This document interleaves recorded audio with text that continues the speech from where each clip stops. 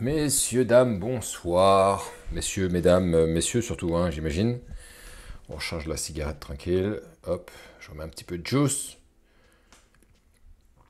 J'espère que tout le monde va bien. Et que tout le monde a la pêche. Que vous avez passé une bonne semaine. On va attendre que ça arrive tranquille. On connaît de toute façon comment ça se passe à chaque fois. Le temps que tout le monde vienne. Il n'y en aura pas pour longtemps de toute façon. Ah, ça me fait penser à un truc. euh, Ah non, c'est bon, je l'ai en tête. Il y a un sujet, les gars, dont je voulais vous parler aussi. Qui euh, bien important. Ouais, tu t'es pris un beau râteau? Ah C'est une bonne nouvelle, ça. Très très bonne nouvelle. C'est bien. Euh, si tu te prends des râteaux, ça veut dire que t'essayes. Donc c'est cool. Je connais des gars, moi, ils prennent jamais de râteau. Bah ouais, ils essayent pas. Donc euh, forcément, hein, ils sont. Ils sont à l'abri de tout, hein. Ils sont à l'abri de tout et ils essaient rien sur rien. Donc c'est pas grave, euh, Mika. On est avec toi. Est-ce que c'est rédhibitoire la calvitie? Demande à David de l'Homme Nouveau. Il, s'est fait faire des implants, donc j'ai pas l'impression que ce soit rédhibitoire. Mais après, j'en sais rien. Je sais juste que moi, je suis en train de perdre les miens. euh, petit à petit, je sens que c'est en train de se creuser un peu sur les côtés. Euh, je me suis rendu compte aussi que tu avais des fois euh, des éléments, en fait, euh, comme moi, ça m'arrive, euh, ça m'est arrivé là cette année d'être extrêmement. Bah, juste avant les fêtes de Noël, euh, quand j'étais exténué avec la chaîne, le taf et tout. Et euh, je, me suis mis à perdre mes cheveux, mais vraiment beaucoup. Et je le voyais quand je me douchais, etc. Euh, quand je m'essuyais, en fait, j'avais toujours euh, des cheveux dans la main. Et euh, donc, euh, bon, ça, ça peut être des éléments aussi euh, qui peuvent être euh, tendus pour la perte des cheveux. Faut faire attention, là maintenant, je les perds plus, comme ça m'est arrivé en fin d'année, mais ce qui est sûr, c'est que la fatigue, l'épuisement, tout ça, ça peut te, ça peut te mettre dedans, ouais. Salut Olivier, bonsoir. Râteau de la semaine dernière. Bonsoir Brice. Râteau de la semaine dernière pour ma part. Tout le monde se prend des râteaux. Mais les gars, on se prend tous des râteaux. Les gars, soyez détendus avec ça. C'est pas le souci de se prendre des râteaux. Ça fait partie du game. Celui qui ne tente rien ne peut pas savoir les risques qu'il y a derrière. C'est- dans tout, dans tout, les gars. C'est comme le gars euh, qui veut se lancer dans un sport, euh, il fait que des entraînements, il fait jamais de match. Ah bah il en perdra jamais. hein. Ah, c'est sûr qu'il perdra jamais de match. Euh, moi, quand je me suis mis au tennis et que j'ai commencé à, à me dire, le jour où j'ai dit, je veux faire un, je, à un tournoi, euh, je pense que je peux le faire. J'ai perdu lamentablement en public en plus, parce qu'il y a des mecs de mon club qui sont venus, qui me l'ont d'ailleurs rappelé encore. Mais euh, voilà, si j'avais jamais participé à ce tournoi, jamais je me serais pris cette branlée, parce que je me suis pris vraiment une branlée, et ben je serais resté sur le canapé, il me serait rien arrivé. C'est normal, les gars. Vous bousculez les lignes du destin, vous créez quelque chose, vous essayez de faire quelque chose. C'est normal que vous preniez des râteaux. On s'en prendra tout. Moi, je m'en prendrai toute ma vie des râteaux. Tant que j'aborderai, je me prendrai des râteaux. Et euh, si vous vous souvenez, euh, s'il y en a qui ont déjà vu la vidéo avec euh, Doug Bonobo, voilà, lui, euh, 20 ans de club, euh, 20 ans, il se prend toujours des râteaux, et il s'en prendra toujours. Ça n'existe pas, le mec qui se prend pas des râteaux. Celui qui vous dit, je sais pas s'il y en a qui disent ça, hein, mais s'il y a des mecs qui vous disent, non, mais comment faire pour ne plus jamais se prendre un râteau par les nanas avec ces techniques exceptionnelles, c'est un putain de mytho. Mais vraiment, quoi. C'est un putain de mytho. C'est impossible. C'est impossible. T'es obligé de te prendre des râteaux dans la gueule. Euh, moi, j'ai le sentiment qu'il y a un problème sur ton site web pour accéder aux formations. Ah bon? Bah, faut me dire parce que j'ai recheck les liens et euh, je crois pas avoir de problème. Euh, tant que je regarde un truc, comment je pourrais checker ça? Non, je pense pas. Hein. Je vais regarder un truc, mais ça m'étonne ce que tu me dis. Ça me surprend même, je dirais. Pourquoi pas, hein, mais je suis étonné. Attends, 30 secondes que je regarde un truc.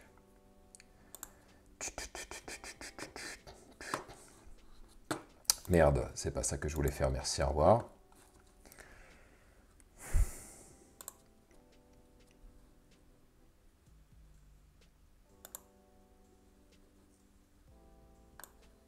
Allez, on va en tester une parce que c'est pas, pas un site web, c'est plusieurs liens pour différentes formations. Donc j'en teste une. Non, ça fonctionne. attends, je vais essayer autrement. Peut-être que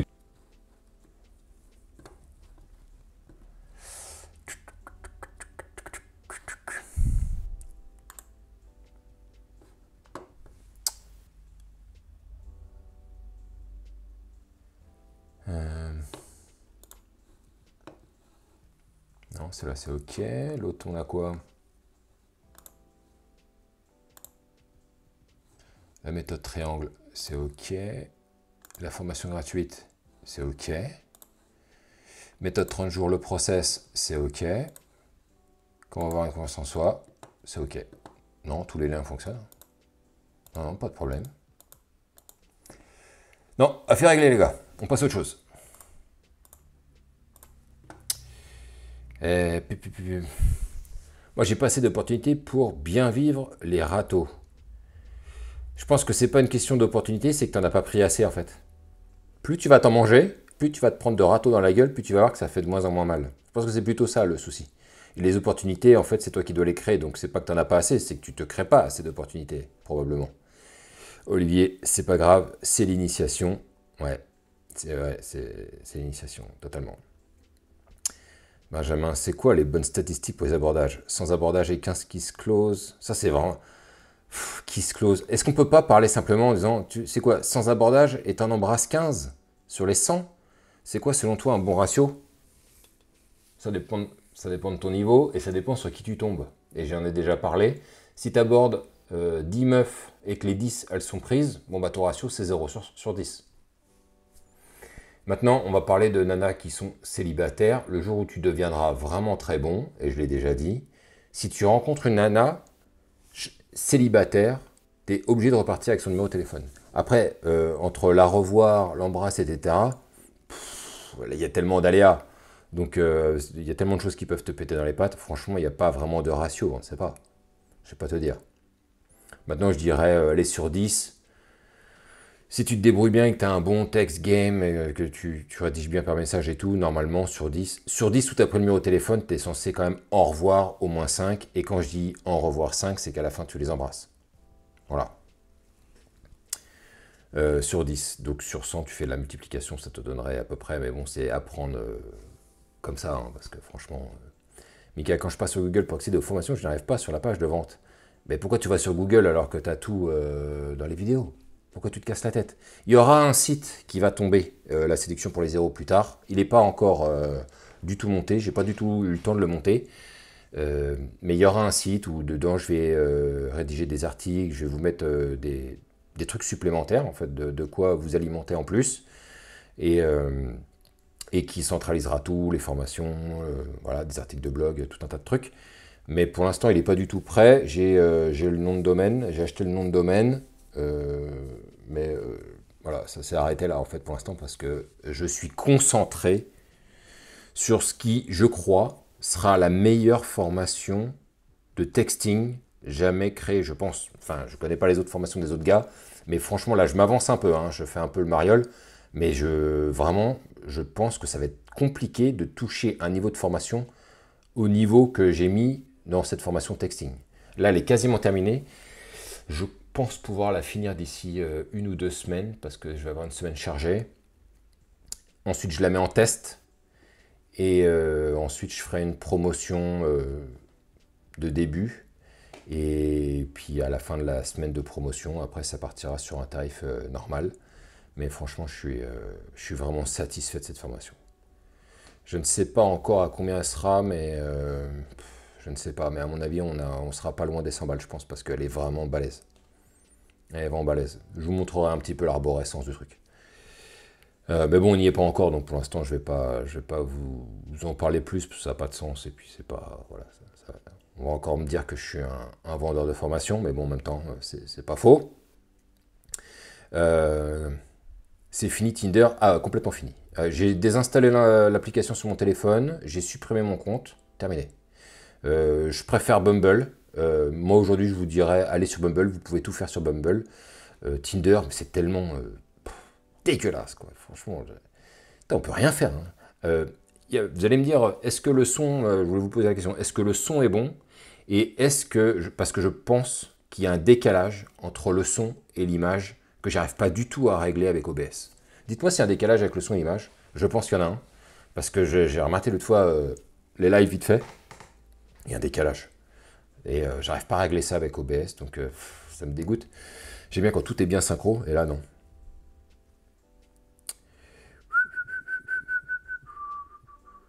Léger décalage, mais c'est pas dérangeant. Bon, tant mieux. Combien de conquêtes as-tu au total? Je ne sais pas.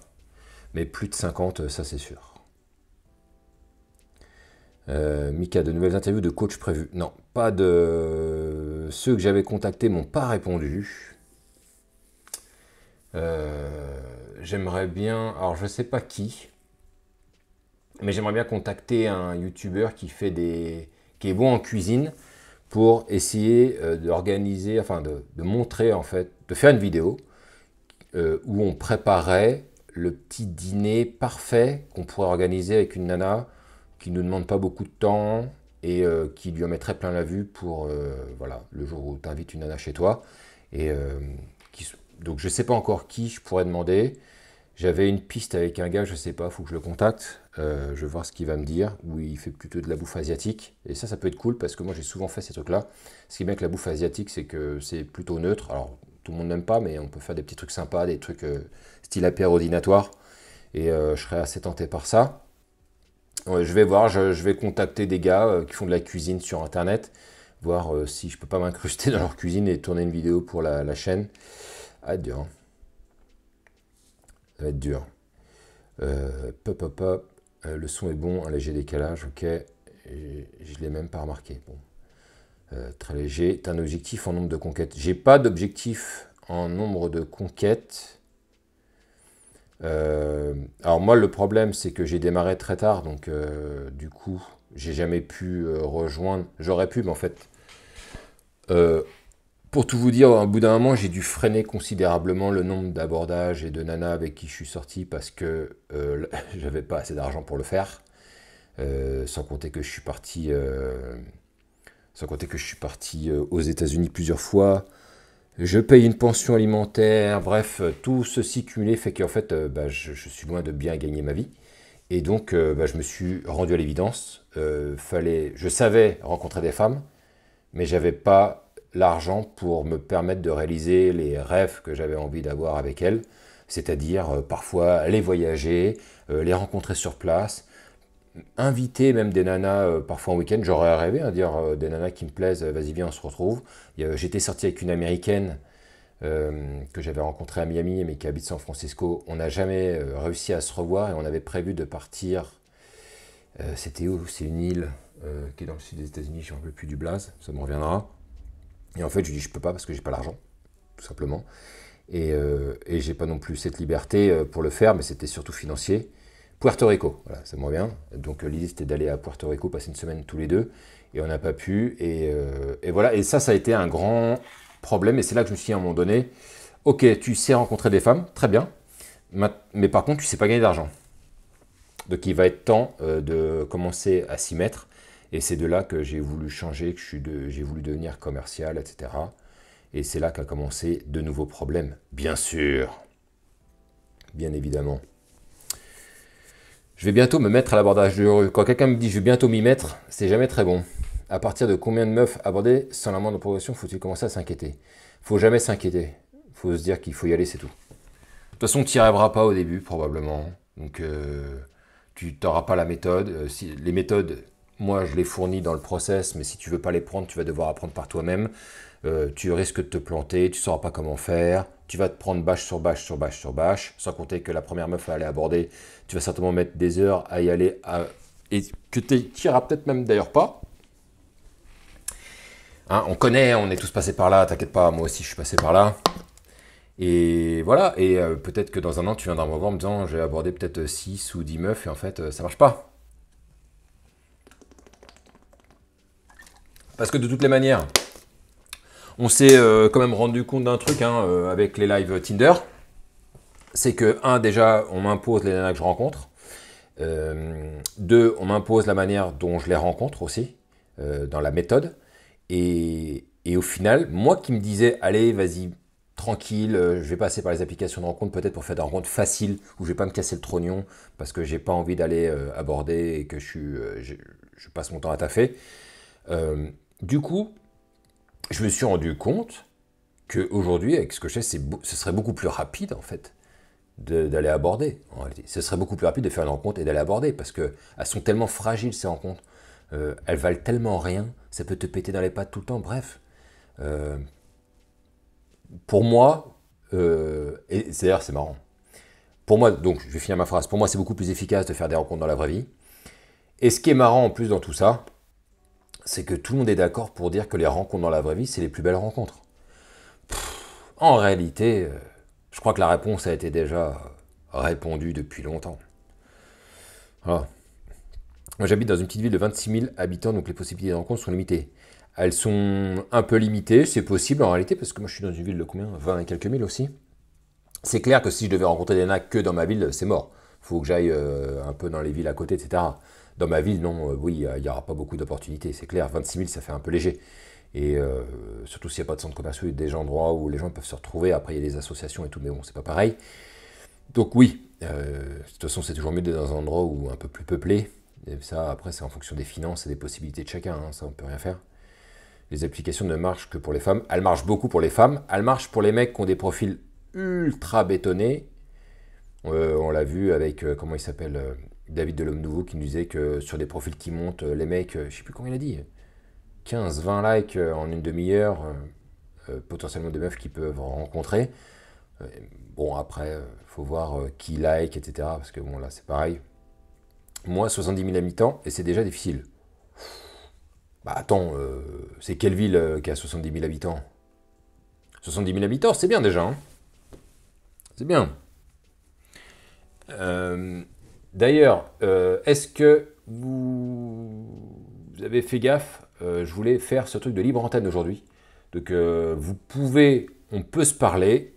S'il y en a qui veulent, quoi un problème, machin, qui veut m'exprimer son problème, parler d'un truc à lui, il faut aller dans la description. Il y a le truc pour se brancher donc sur Discord. Moi, je ne montrerai pas la tête, je ne montrerai pas le nom. Euh, tu t'appelleras comme tu t'appelles. Il suffit juste de m'envoyer un message sur Discord euh, pour me dire écoute, euh, moi je voudrais parler de ceci, etc. Et quand c'est bon, bah, je te mets à l'antenne et on discute. Voilà. Et j'aimerais bien faire ça. Donc bah, les gars, s'il y en a qui veulent s'exprimer, commencez déjà à m'envoyer les messages et on va pouvoir ensuite voilà, on va pouvoir attaquer. Bah, c'est très simple, hein. franchement, vous allez sur Discord, si vous n'êtes pas inscrit, ça prend quelques secondes. Vous m'envoyez un message, euh, vous m'ajoutez en tant qu'ami, vous m'envoyez un message privé. Alors certains me diraient oui, mais Brice, t'envoies ton Discord, ton nom, etc. Euh, oui, mais c'est pas grave parce que s'il y en a un jour qui me saoule, qui me fait chier, bah, je le bloque. Donc il euh, n'y a pas de problème. non, Amandine n'est pas là. Non, elle nous manque, Amandine. Elle nous manque. Elle nous manque beaucoup, effectivement. 3. Bah 3, c'est quand même une sacrée ville. 70 000 habitants, quand même, il y a de quoi faire là il y a quand même 2-3 trucs à jouer. quand même, 70 000 habitants, il y a forcément un centre commercial, il y a quelque chose. Euh, franchement, il y a quand même quelque chose à faire, c'est sûr. Même le matin, tu te balades sur le marché. Franchement, le mec qui veut chasser, il chasse. Le mec qui veut chasser, il chasse. Et là, 70 000 habitants, ouais, c'est sûr que c'est possible. Une meuf 3 sur 10 ça plus de mecs qu'un mec 8 sur 10. Peut-être, je ne sais pas, j'ai pas les statistiques. Il n'y a pas beaucoup de filles sur les applis. Je ne sais pas. Si c'est de Magali 120 kg qui te like sur Tinder, t'as pas forcément envie de la rencontrer. Ah ben j'ai même pas envie de la rencontrer du tout. Euh, c'est moi qui suis nul. Bah, de toute façon, à un moment donné, il faut arrêter de remettre en question les endroits. Hein. C'est pas les endroits qui font que. Voilà, si tu sais pas. Euh, j'ose plus chasser de trop de déception. Bah voilà, la déception. Les gars, vous n'êtes pas assez vaccinés contre le mal. Vous n'êtes pas assez vaccinés contre la claque dans la gueule. Le, peu d'échecs, ah non, mais ça fait mal, ah ouais, mais c'est dur. Bah oui, mais. Parce que t'as pas l'habitude, frérot. Voilà pourquoi. Et euh, je voulais. Euh, il y a une vidéo, les gars, que je voulais vous montrer aussi sur les rencontres. Euh, parce que je regarde pas mal de. Alors moi, je regarde pas mal de vidéos plutôt business. Hein, je regarde pas de vidéos de coach ou je sais pas quoi, parce que je m'en fous de, ce qu'ils racontent. Enfin, j'apprends jamais rien, de toutes les manières. Et euh, je voulais vous montrer une conversation que j'ai vue sur une vidéo où il y avait euh, deux gars. À la base, c'est censé être une émission business, et il y a un mec qui fait une révélation que je trouvais hyper intéressante. Et, euh, j'aimerais bien vous la partager. Est-ce que ça vous dit, les gars, qu'on se mate ça? Ça durera pas longtemps, un petit 10 minutes. Et puis après, on voit si on passe aux choses sérieuses. Après, j'ai un petit sujet à discuter avec vous aussi. Coucou, je suis timide, j'arrive pas à aborder une femme. Le mieux, c'est la mort. Non, je déconne, parce qu'après, on va me dire, euh, tu pousses au suicide. Vous êtes chaud, les gars? Je vais mettre le petit casque.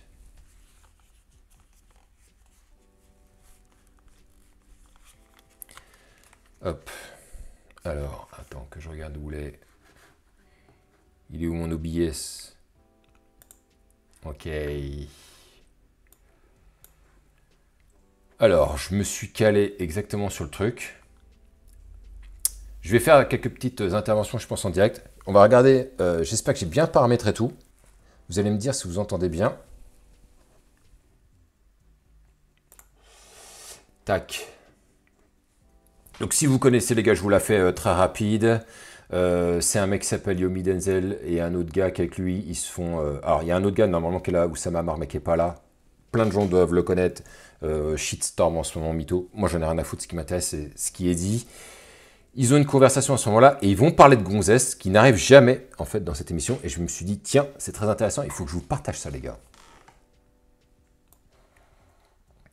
Alors, c'est rare que je fais ça et il y aura certainement des couacs. Mais vous allez me dire, je vais commencer, euh, vous allez me dire si vous entendez le son. Ou la capacité d'avoir des gens qui sont pas d'accord avec toi et en avoir rien à foutre, c'est un talent. Et tu regardes des mecs comme Elon Musk, est-ce que c'est bon pour tout le monde là? Est-ce que tout le monde entendait la vidéo? Ok, parfait. Est-ce que vous m'entendez plus ou moins fort que la vidéo? Est-ce qu'il y a un truc à ajuster? Est-ce que je descends la vidéo? Est-ce que je monte la vidéo? Dites-moi.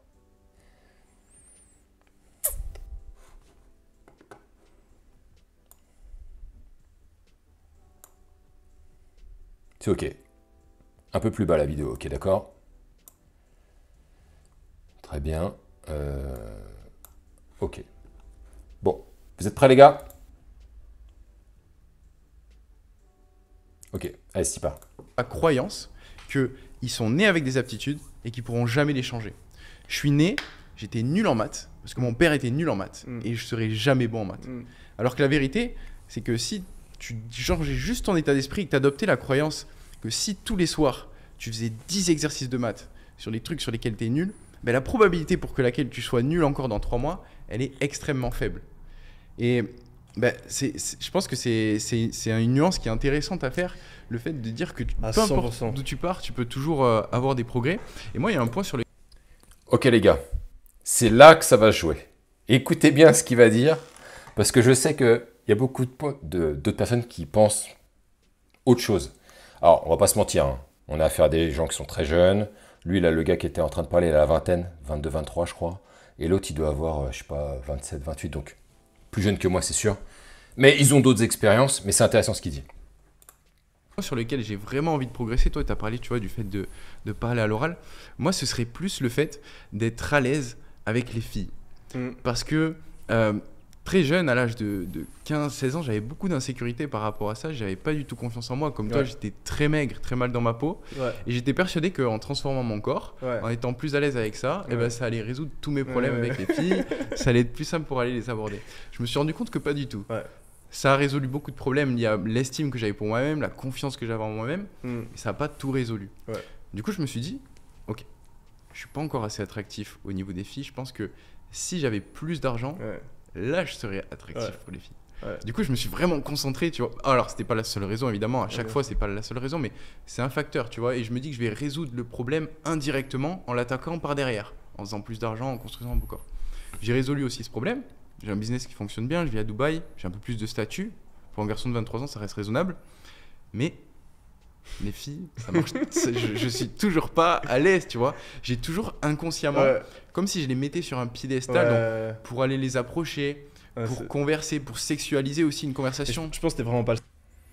Ok les gars, vous voyez là, c'est le point le plus important. Je pense que là, ça dit tout. C'est bien d'avoir ce genre de témoignage parfois. de quelqu'un qui te dit J'y arrivais pas avec les filles, je me suis je vais construire mon corps. Ça va compenser. Ça compense mon cul. Euh, il s'est dit Bon, euh, vais, il faut de l'argent, parce que si j'ai de l'argent, ça va être plus facile avec les filles. Ça a compensé mon cul. Pourquoi? Ben, Parce qu'il ne sait pas y faire.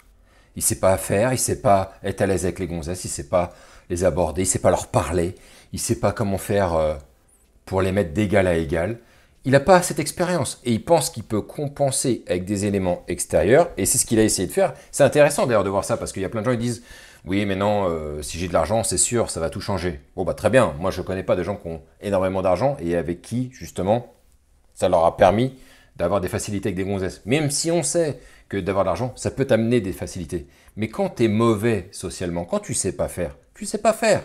Tu peux avoir autant d'argent que tu veux, quand tu vas leur parler, euh, euh, euh bah, j'y arrive pas, je suis impressionné, euh, un me fout dans la sauce cette gonzesse, rien que je la vois, rien qu'elle me regarde, je suis déstabilisé. Bref, tu peux faire ce que tu veux, tu peux te bodybuilder, tu peux avoir de la thune à la fin quand tu n'as pas maîtrisé les compétences sociales. Tu n'as pas maîtrisé les compétences sociales. Point barre, en réalité. Et c'est ça qui se passe avec lui maîtrise pas. Et donc, bah, ça n'a pas résolu. Donc, le petit pense-bête, là, le, petit placebo qui s'est mis en disant, bon, bah, je vais faire ça, ça va, tout va s'arranger grâce à ça, bah non, ça s'est pas arrangé. On pas le seul à avoir ça. Je pense qu'il y, a énormément de personnes qui peuvent, euh, hum, qui peuvent s'identifier à ça, dont moi.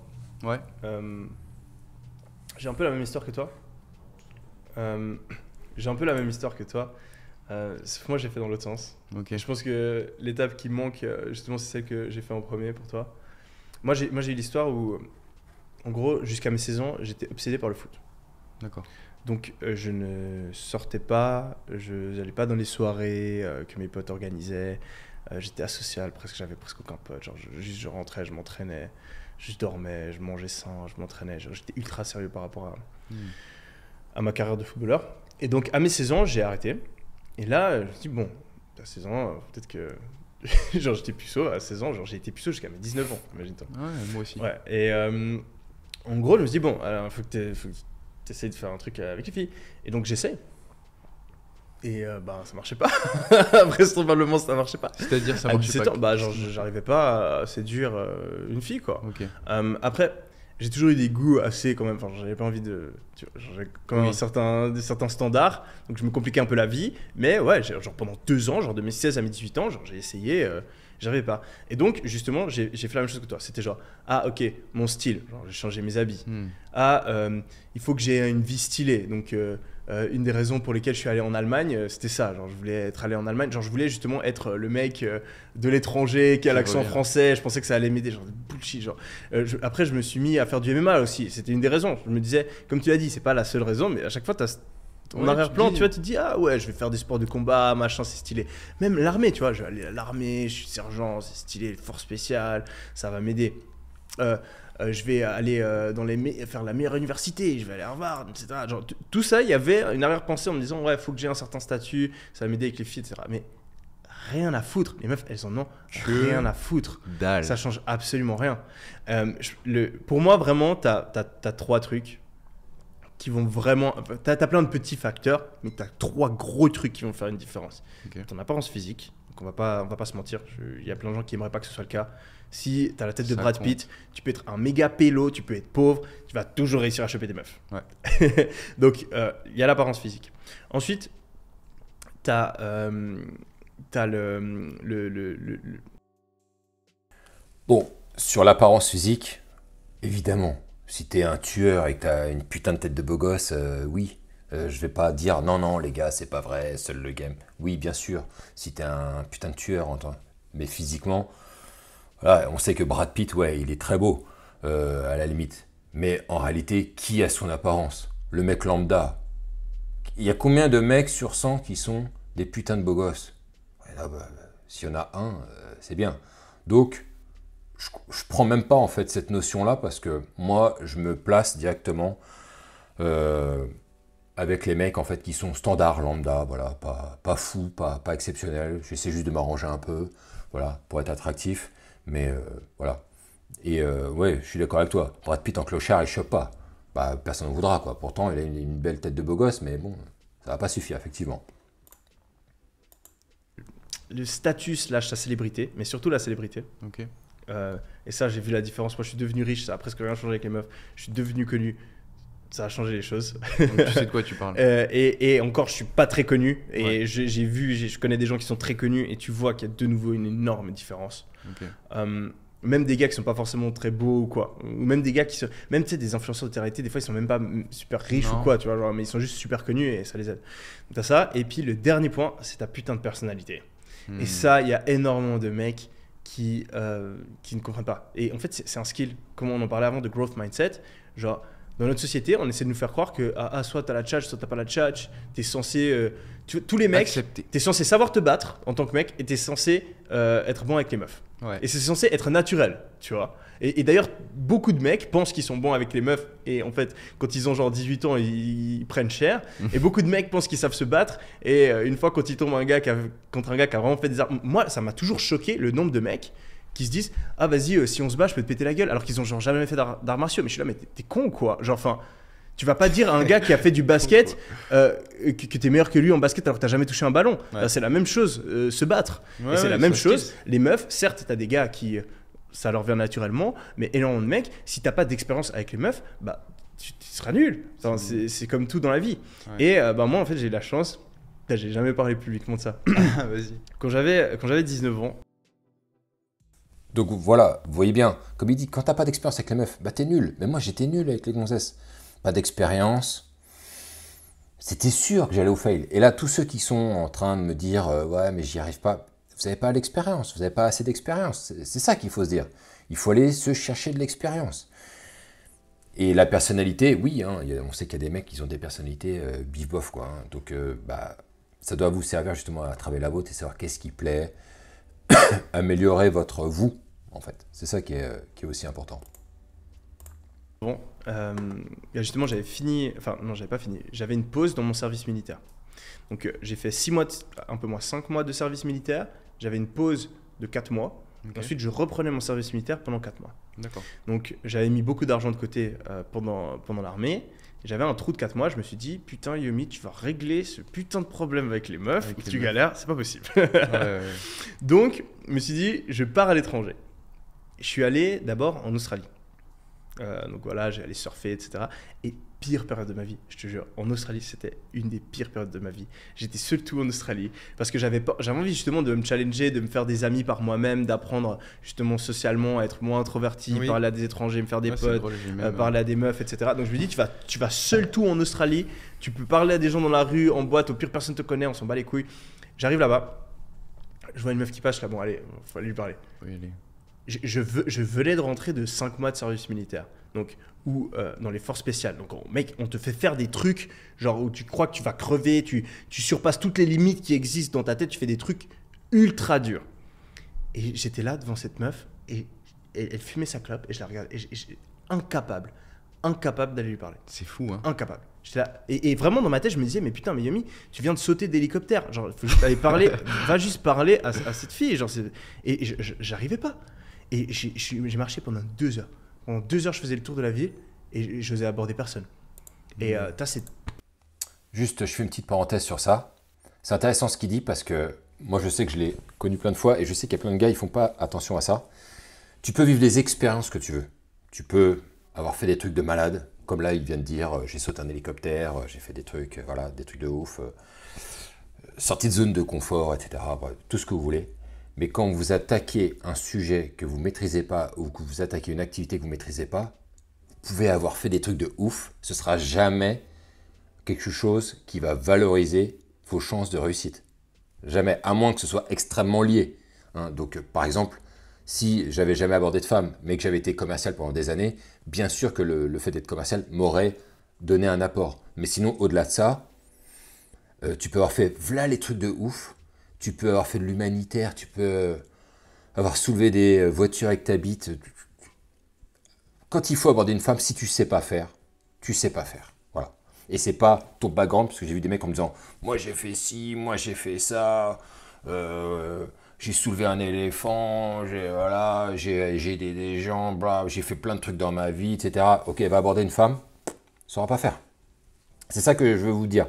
il faut écarter en fait cette partie-là, euh, le fait d'aller rencontrer des femmes, il faut l'écarter euh, du reste de votre passé. Et c'est pour ça qu'il y a autant de gars, parce qu'il y a des gars qui me disent, ouais, mais moi je suis entrepreneur, euh, j'ai eu des calls hein, comme ça, des gars qui m'ont dit, je suis entrepreneur, je suis chef d'équipe, je suis pas n'importe qui. Et putain, je me fais rejeter par les femmes ou j'arrive pas à les aborder, qu'est-ce qui se passe? Je suis pas n'importe qui. Et si, t'es n'importe qui.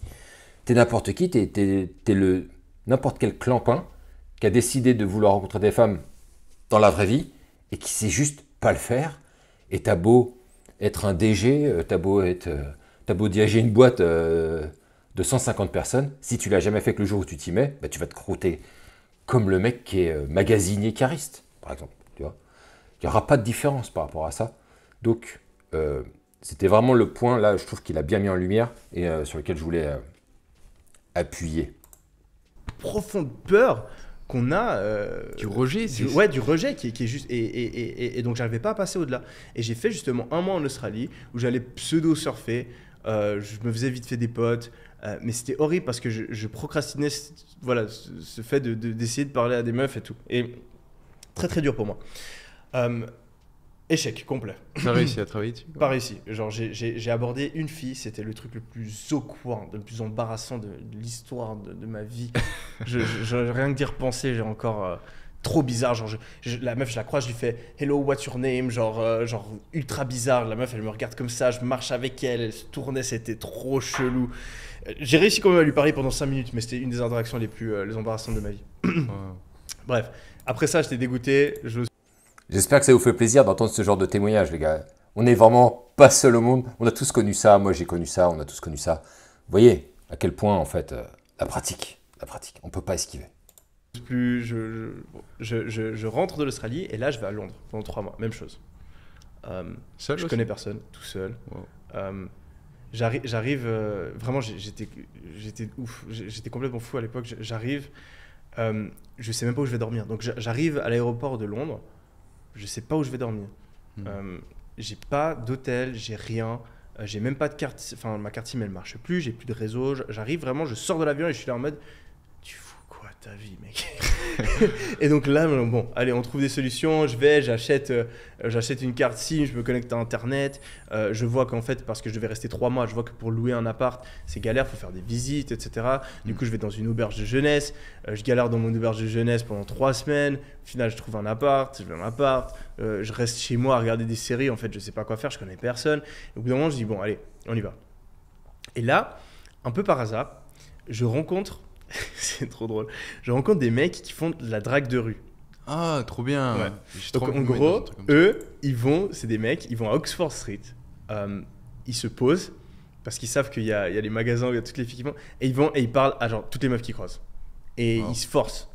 Et euh, bon, c'est chiant pour les meufs parce que t'as des mecs euh, qui n'ont aucune idée, qui sont souvent super timides, un petit peu chelous, qui les abordent, etc. Mais au final, tu vois, ils travaillent, ils travaillent sur eux-mêmes. Et c'est que comme ça que. Parce que, mec, t'as des, as des gars, moi j'ai rencontré des gars qui faisaient ça. Genre, ils sont puceaux, ils ont 25 ans, ils ont jamais réussi à. Et c'est une des seules manières que tu peux, si t'es pas spécialement beau, tu peux pas te mettre sur les applications de rencontre. Donc tu es obligé de développer une certaine personnalité. Et la meilleure manière de le faire, bah, c'est justement en abordant, etc.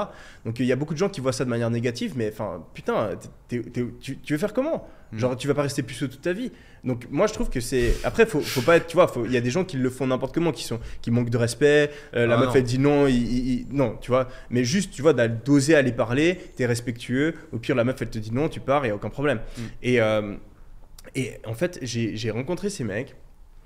Euh, il y a un des gars, il faisait des vidéos sur YouTube. À l'époque, moi, tu sais, je faisais du montage vidéo. Du coup, je l'ai aidé à faire son intro et à éditer une, une ou deux de ses vidéos. Et il m'a dit, ok, vas-y, je vais t'aider.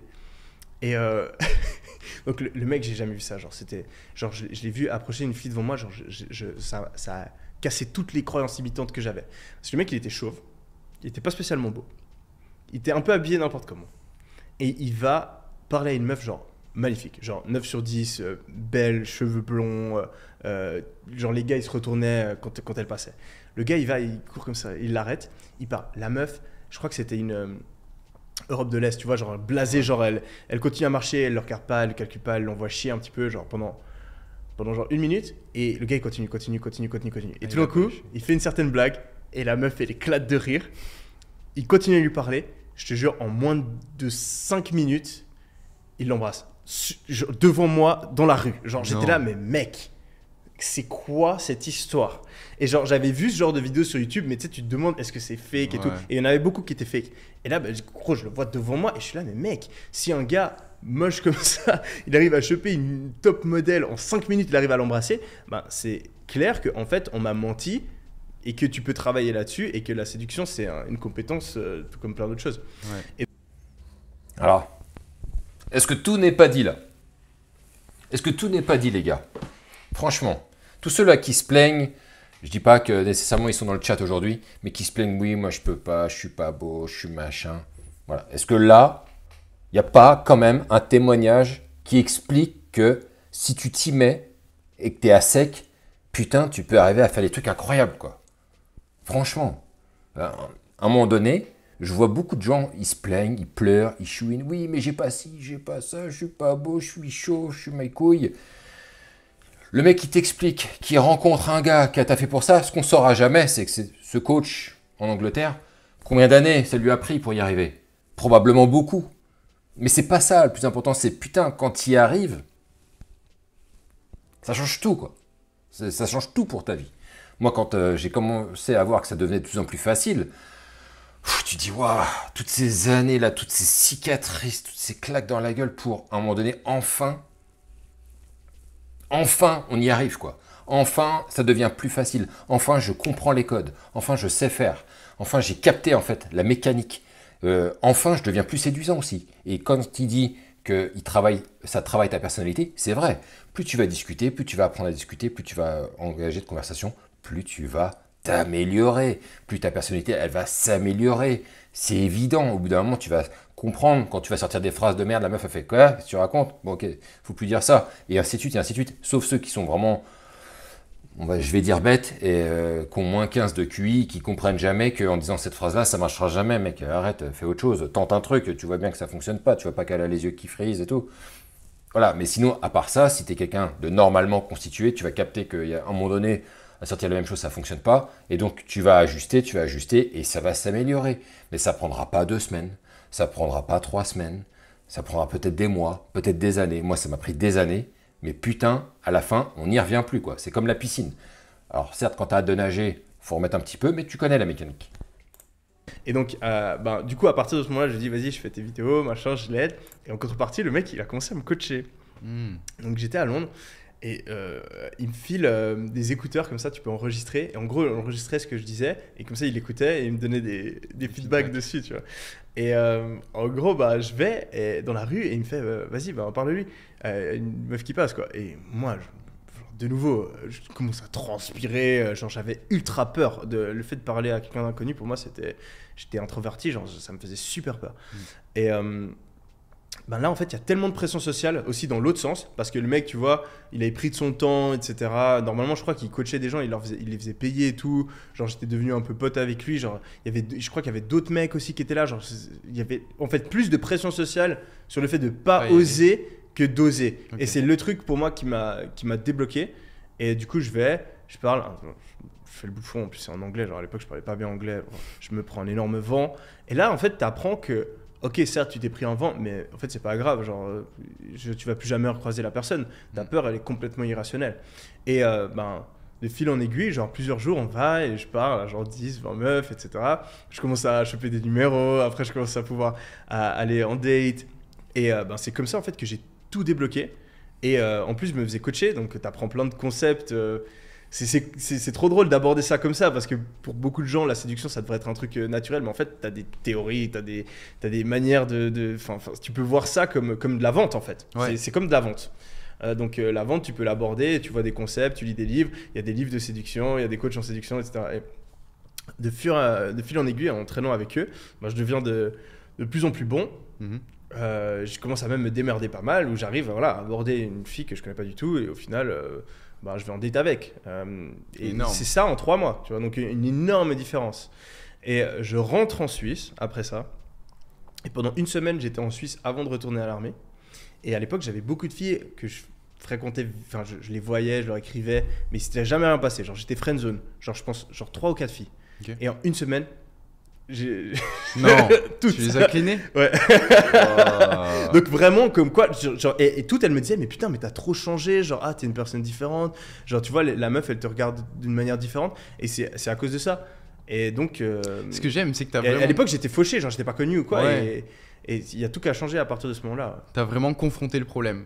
Tu t'es pas Ouais, dit- mais je l'ai évité pendant deux ans. Genre, Ouais, c'est vraiment parce que j'ai été dans cette situation où j'étais. Et c'est là que tu vois que l'environnement est super important. Hmm. C'est pour ça que je vois aussi, moi, tous mes potes, ils sont devenus riches. Euh, tous mes potes que j'avais de l'époque, qui étaient vraiment proches de moi, ils sont devenus riches. Pourquoi? Parce qu'on s'est tous mis dans le même environnement. On parle tous des mêmes sujets. On a partagé euh, les mêmes choses. Tu vois, on vivait même dans la même maison. Si tu as envie d'avoir la flemme, tu vois, il y a les trois autres qui sont en train de travailler sur leur business, ben tu, tu travailles sur ton business. T'as pas envie, t'o- t'oses pas lancer un business, tu vois qu'il y a trois de tes potes qui le font, ah tu le fais. Et euh, c'est pour ça que l'environnement a un énorme impact. Quand j'étais tout seul en Australie à essayer de faire mon truc, j'ai échoué. Alors que ben, à Londres, avec justement des connaissances qui font la même chose, etc., là ça a été super facile. C'est ouf que malgré la mauvaise expérience que tu as eue en Australie, Ouais. que tu te sois dit, vas-y, je vais quand même retenter à Londres dans une autre Ouais. ville, repartir seul. Mais c'est ça, à chaque fois, je, je- je le dis, le plus important dans la vie, c'est d'être putain Perse- de persévérant. Ouais. Mec, c'est normal de foirer. euh, c'est normal, enfin, si t'as pas la chance d'être ultra talentueux, ultra discipliné, etc., pe- personne n'est parfait, mec. Mais la différence entre les gens qui réussissent, c'est, et et ceux qui réussissent pas, c'est que le mec qui, qui est successful, quand il foire, il réessaye. Hmm. Et moi, ben, j'ai foiré plein de trucs dans ma vie, mais à chaque fois, j'étais toujours là. Et genre, c'est, c'est, j'ai envie d'être le mec qui persévère, quoi. Ouais. Et là, je me suis dit, bon, t'as foiré en Australie, tu vas réessayer à Londres. Tu réessayes. T'abandonnes pas. Tant que t'as pas réussi, t'abandonnes pas. C'est ouf parce que moi, je me suis rendu compte d'une chose. Euh, bon, alors pour le coup, ça s'applique pas à la séduction avec les filles. Là, là, pour, euh, voilà, pour le coup, euh, moi je me retrouve dans ce qu'il dit quand il parle de persévérance et tout, parce que je sais que il y a beaucoup euh, cette illusion qu'on peut avoir des mecs qui arrivent très facilement, qui sont très doués dans euh, certains trucs qu'ils entreprennent. Ça peut être, euh, là, euh, il parle de business aussi, mais ça peut être de gonzesse, tu vois, des, tu vois, des mecs qui sont super talentueux. Et toi, tu te retrouves dans la besogne. Moi, j'ai toujours été dans la besogne en réalité. J'ai jamais rien eu de facile. Il m'est jamais rien arrivé facilement. À chaque fois que j'ai obtenu quelque chose, ça a toujours été dans la douleur, dans le travail, dans l'acharnement, euh, dans les échecs et on recommence, on se casse la gueule, on recommence et on recommence. Et des fois, c'est très fatigant, mais on recommence encore parce qu'on se dit allez, putain, on va pas. On a, on a fait une partie du chemin déjà, c'est chiant de revenir en arrière, de se dire allez, on arrête tout, tout ça pour ça, non. Et à la fin, c'est vrai que ça paye. C'est vrai que tu seras peut-être très crevé, tu seras peut-être fatigué, tu en auras, pris un coup dans la gueule en, termes de morale à certains moments.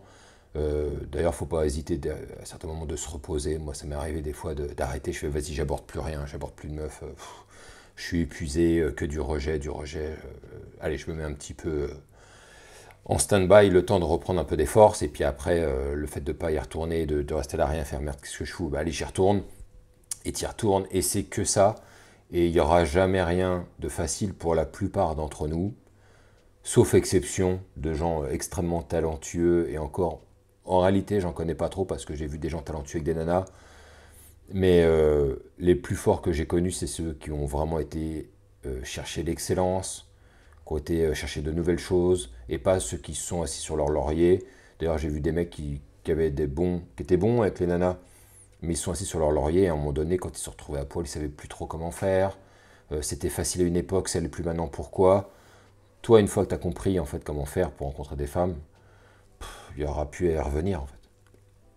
Donc voilà les gars, ce que je voulais vous montrer. Après, je pense que ça n'a plus trop de. euh, Laissez-moi checker un petit peu. Je vais regarder, mais je crois qu'après, ça n'a plus trop de. Oh, on peut continuer de regarder. Si je vois qu'après, ça n'a plus trop d'intérêt, on, on va arrêter. Mais euh, on va voir ça. filles précisément. Mais j'avais quand même cette peur en étant en France, Ouais. euh, cette nature très introvertie Ouais. et cette peur d'aller aborder les autres et d'aller Ouais. vers les autres. En arrivant ici à Dubaï, en m'expatriant, je suis arrivé seul. Hmm.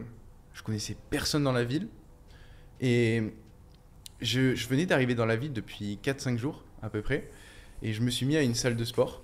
Je me suis inscrit complètement par hasard, une salle qui était pas loin de chez moi. Et puis là, je vois un mec qui passe et qui faisait des vidéos sur YouTube que je regardais. Et là, je commençais à avoir la pression. pendant tout l'entraînement, tu vois, je le regardais un peu de loin et tout. Je me suis dit, j'y vais, j'y vais pas. Euh, est-ce que je vais lui parler? Et puis, euh, comme pour un. J'ai jamais sauté en parachute, mais je suppose que c'est la sensation que tu ressens, c'est quand tu t'apprêtes à aller dans le vide. Je me dis, vas-y, j'y vais. Je vais lui parler. Je me présente. Bon, je dis de la merde, comme tu dis, tu vois, je bégaye un peu et tout. Et au final, cette relation, le fait que j'ai eu le courage d'y aller, elle m'a ouvert plein de portes derrière. Parce que derrière, il m'a, il, m'a, il m'a introduit à plein de personnes et je me suis rendu compte aussi que bah, même lui, j'ai, créé une bonne relation avec lui. Et hum, au final, juste le fait de dépasser la peur que j'avais, mm. l'appréhension que j'avais, ça m'a appris beaucoup sur moi et ça m'a aussi ouvert énormément de portes. Et c'est un truc que j'ai remarqué à chaque fois que euh, j'ai eu peur de faire un truc dans ma vie, que je me suis forcé à le faire. Derrière, il y a eu des trucs exceptionnels. je m'identifie tellement à ça. Et en fait, moi, j'ai même un concept dans ma tête euh, par rapport à cet exact même phénomène. Pour moi, c'est le concept du plongeoir. Où vraiment, je devais être gamin, je devais avoir 8-9 ans. Et à chaque fois, je me disais, avant de plonger, ouais, t'as peur maintenant, mais après, tu seras fier de l'avoir fait. Et c'est ce qui m'aidait à faire le switch et à plonger. Et euh, ça m'a tellement marqué que maintenant, à chaque fois, je, me rappelle de ce plongeoir. Genre, j'ai une image dans ma tête du putain de plongeoir euh, où je sautais à la piscine à Lausanne quand j'étais gamin. Et euh, ben, typiquement, je dois aller parler à une meuf, je sais pas, je pense au plongeoir. Je dois prendre une douche froide, je pense au plongeoir. J'ai euh, genre un appel important et tout, je stresse. Je me dis, putain, quand tu auras fini l'appel, tu seras fier de toi, vas-y. Euh, je dois avoir une discussion difficile avec un employé, on doit se séparer, etc. Je pense au, putain de plongeoir, tu vois. Hmm. Et je suis, donc je suis complètement d'accord avec toi. Est-ce que, euh, est que le fait que tu aies fait tout ce travail à Londres, en attaquant le problème, en le confrontant plutôt qu'en essayant de l'attaquer par derrière, comme moi je peux faire, est-ce que ça t'a permis aujourd'hui encore, bon alors, aujourd'hui je sais que tu es en couple et que tu es épanoui dans ta relation, mais est-ce que ça t'a permis d'être beaucoup plus. Euh, d'acquérir la compétence à vie? J'ai envie de faire un parallèle, parce que c'est une relation que j'ai eue l'autre jour, pour faire un, parallèle avec le sport. J'ai l'impression que dans la vie, il y a deux types de compétences. Et que ces compétences, tu peux euh, faire une métaphore avec le gain de force et le gain en cardio. Rien à voir. Ok, ok, intéressant. Quand tu gagnes en force, ouais. quand ton corps gagne en force, tu vas créer de nouveaux euh, motoneurones qui seront là sur du très long terme. Un mec qui gagne en squat, qui va développer un squat à 140, 150 kg, tu peux le faire squatter 50 ans après, hmm. il aura toujours sensiblement le même niveau de force. Par contre, pour gagner en force, ça prend beaucoup de temps en force. En ah, force pure. ok, ça prend beaucoup de temps. Ouais. tu veux faire du deadlift, du développé couché, du squat, ça prend beaucoup de temps, c'est très fastidieux. C'est un processus où tu vas gagner peut-être 1 kg par 1 kg, tu vois, sur tes barres, etc. Mais quand tu gagnes, tu gagnes sur du long terme. Et à l'opposé, tu as le cardio, où là, tu vas progresser très vite. Tu vois, tu vas peut-être faire 2, 3, 4 semaines de cardio, tu vas avoir une, augmentation très rapide de tes compétences. Par contre, si tu arrêtes, ça diminue tout aussi vite. Est-ce que la séduction, c'est de la force ou est-ce que c'est du cardio? Cardio. Ah ouais? Malheureusement. Ah, c'est un truc que tu dois entretenir. non, c'est un peu un mix des deux. C'est un peu un mix des deux. Euh, en fait, quand tu.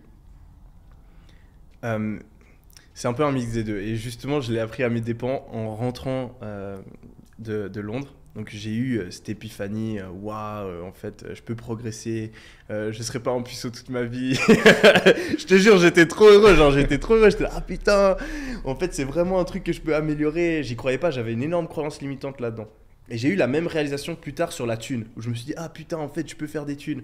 Genre, j'ai eu le premier truc, la première croyance limitante que j'ai vraiment cassée, c'était celle-là. C'était, putain, euh, en fait, je peux améliorer ça sur les meufs. Et en fait, c'est de là que j'ai transitionné sur le business par la suite. Et après, j'ai cassé cette autre croyance limitante. Mais, euh, donc, je reviens, je reviens de Londres, je retourne à l'armée. Donc, j'ai cette semaine là, et je retourne à l'armée. Et euh, ben, je suis à l'armée pendant, pendant trois mois. et ben, en fait, j'arrête l'armée. Et là, de nouveau, bam, même problème. Genre, j'ose plus du tout parler à une inconnue. Euh, j'ai plus du tout autant de charisme, je suis plus aussi drôle. Euh, je me démerde beaucoup moins bien, quoi. Et j'ai dû retourner à Londres, refaire deux semaines. Ah, j'ai redébloqué le truc, je suis revenu en Suisse. Donc, genre, ça, ça reste. Tu as besoin de, te remettre dans le bain, vraiment, hein, clairement, à 100%. Mais après, tu as des, des, des, bases qui restent. Des hmm. bases qui restent. Et après, le truc, tu, fais un espèce de, 360 où tu deviens aussi plus mature, etc. Euh, tu vois, en tant que mec, quand tu as 18 ans, euh, sur le marché euh, de l'amour, tu, tu, pèses pas beaucoup en fait. Tu es, un gamin, tu aucune expérience. Genre, les, meufs, elles ont toujours envie d'être avec un mec un petit peu plus mature, etc. et tu as, moins confiance en toi, etc.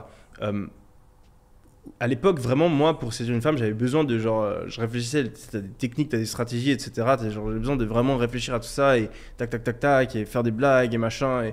Et, après, si j'enchaînais tout bien, j'y arrivais. Alors que, genre, aujourd'hui, j'ai plus du tout besoin de faire ça. J'ai développé une telle confiance en moi. Euh, j'ai aussi du succès dans d'autres aspects de ma vie. J'ai une certaine expérience dans, dans ce domaine-là aussi. Ce qui fait que, sans me prendre la tête, en fait, j'arrive à des résultats meilleurs qu'à l'époque où je devais vraiment être ultra vif, à me rappeler des concepts que j'avais étudiés, etc. etc. Hmm. Donc, avec le temps, tu, tu, tu, tu deviens meilleur et, et tu, tu, en fait, ça monte et ça redescend et tu es quand même sur une pente montante. Mais tu as un espèce de truc qui se déclenche où si tu fais l'effort pendant genre une heure, tu vas aborder genre 20, 20 filles dans la rue.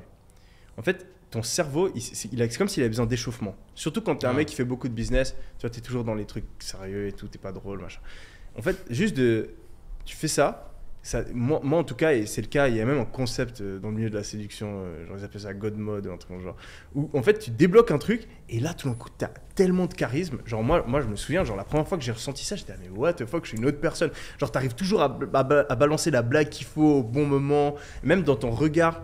C'est Ah un ouais. truc aussi qu'on m'avait dit quand je suis rentré de Londres, c'est genre putain tes yeux ils ont changé parce que tu développes un confort en fait. Le fait d'oser aller parler à des inconnus, ça te permet d'avoir un confort différent dans les, in- dans les interactions sociales. Hmm. Où, euh, et ça les filles elles le ressentent, où genre par exemple tu vois, imaginons tu fais une blague, la plupart des gens ils font une blague, ah ils rigolent et ils vont détourner le regard, tu vois. Ou genre quand il y a une certaine tension qui va se créer, quand tu parles à une fille, détourner le regard. Ouais. Et euh, en fait toi quand tu as cette confiance en toi qui s'est développée, tu gardes le regard. Hmm. Et euh, ça, les filles, elles le ressentent de ouf. Euh, et, et- et justement, le, moi, j'avais, ça me débloquait un truc quand j'étais dans cette période à Londres, où que, c'est quand je, par la suite, j'étais dans des périodes où j'étais en train de faire la fête tout le temps et que je parle à plein de gens, etc. Je, je, je, je me mets dans un mode où vraiment je suis ultra charismatique, que j'arrive pas à atteindre si je sors voilà, juste le week-end une fois et que j'ai travaillé toute la semaine. Hmm. Donc, Euh, et c'est pour ça que tu as des mecs comme euh, justement le gars là, euh, que j'avais rencontré à Londres. Ils font ça tous les jours et en fait, euh, genre c'est un autre level quoi. C'est le mec, euh, il, il a réponse à tout, il, il y a tout qui est drôle, c'est Ouais. encore le, le gros mindset, quoi. Ouais. Le mec, il est sur- Euh, juste pour rebondir sur le truc là, il y a différents sujets dans le sujet en fait là de, qui vient d'évoquer. Oui, euh, quand tu démarres, euh, tu crois à un moment donné, tu passes des paliers, etc. Et tu crois que tu as atteint un niveau et que tu reviendras plus jamais en arrière. Généralement, c'est faux. Tu reviendras en arrière parce que c'est pas encore ancré, c'est pas encore maîtrisé. Oui, tu vas à certains moments avoir des pics de confiance en toi. Tu vas reprendre des chutes euh, quand tu vas te prendre des râteaux alors que merde, je comprends pas. J'ai réussi à cirer cette meuf la semaine dernière et là, euh, elle me redise encore non. Donc boum, tu redescends. Tu fais que des montées et des descentes comme ça parce que c'est pas maîtrisé en fait. C'est juste pas maîtrisé. Une fois que tu as développé une vraie confiance en toi, en béton, comme j'explique euh, d'ailleurs dans le, dans le programme, mais en béton, c'est pas la confiance en toi euh, qui s'effrite euh, dès qu'il y a un petit coup de vent. Quand il n'y a pas de vent, il n'y a pas de tempête, il n'y a pas de problème, on fait le mec, euh, moi je suis sûr de moi, j'ai confiance en moi, et puis dès qu'il y a une petite bourrasque, Ah, qu'est-ce qui se passe Il me faut mon manteau, Euh, non, mais j'ai froid, et comment on va faire Et, c'est quoi le dernier train pour rentrer Mais je suis perdu, Brice, j'ai plus de boulot, comment je vais faire bah alors, elle est où la confiance? Oh, elle est où? Il n'y en a plus ou quoi? Voilà, ça, c'est quand tu n'as pas une vraie confiance en toi. Mais une fois que tu vas aborder dans le dur, que ça va cheminer pendant pas mal de temps, au bout d'un moment, tu vas commencer à reach un step où tu ne redescendras pas en fait. Est-ce que ça veut dire que si tu t'arrêtes pendant 2-3 ans d'aborder, une fois que tu as commencé à bien maîtriser le truc, est-ce que tu vas y aller de manière aussi fluide que ces deux ans en arrière? Non, bien évidemment. Et en fait, c'est ça dans tout. C'est la vérité. La vérité, c'est que si tu apprends l'anglais, moi j'ai été euh, plusieurs fois aux États-Unis, je suis revenu, j'étais chaud comme la braise. Tu pratiques pas pendant un an, bah tu le perds quoi. Bah si tu parles pas en anglais, euh, tu le perds. Et moi, et à chaque fois que j'ai eu un gap trop élevé entre les moments où je parlais en anglais et quand je parlais plus, je, perdais. Euh, Je cherchais, je recommençais à rechercher mes mots, etc. Donc c'est de la pratique régulière. Après, si tu es quelqu'un de fluide dans tes relations sociales, et c'est ce que j'apprends d'ailleurs dans le process, dans ces cas-là, on n'est plus euh, dans le truc du genre, euh, juste je parle quand je fais des abordages, c'est on parle tout le temps. D'accord? Tous les jours, on a une conversation avec quelqu'un, femme ou homme. On n'en a rien à foutre. L'idée, c'est de développer les compétences sociales. Une fois que tu les as, après, c'est simple. Hein, ce matin, j'étais encore faire les courses, j'ai discuté avec des gens. J'ai pas été abordé, mais j'ai discuté avec des gens. Et parce que voilà, je suis à l'aise maintenant socialement. Et ça, on ne l'enlèvera pas, en fait. Pour qu'on me le retire, faudrait me foutre 10 ans dans une cave, je ressors, je fais waouh, ça fait 10 ans que j'ai pas parlé à quelqu'un. Euh, ça va me faire bizarre. Ce qui n'arrivera pas. Euh, à moins qu'il nous arrive une guerre euh, et que du coup on se fasse capturer. là, je sais pas. Je déconne. Mais il y a ces deux trucs-là en fait. Il y a quand c'est maîtrisé, quand c'est pas maîtrisé. Si à un moment donné c'est maîtrisé, on est bon. Là, il y a des moments où il fait référence au fait qu'il perd, il repère un peu confiance en lui. Bon, ça veut dire que ça n'a jamais été maîtrisé. D'ailleurs, il a dû repartir pour refaire, etc. Après, quand il dit maintenant, il y a quand même un truc à changer dans le regard, Aujourd'hui, c'est plus facile qu'avant. Moi, c'est vraiment quelque chose que j'ai ressenti au bout d'un moment, c'est que on n'est plus obligé forcément d'aborder à outrance.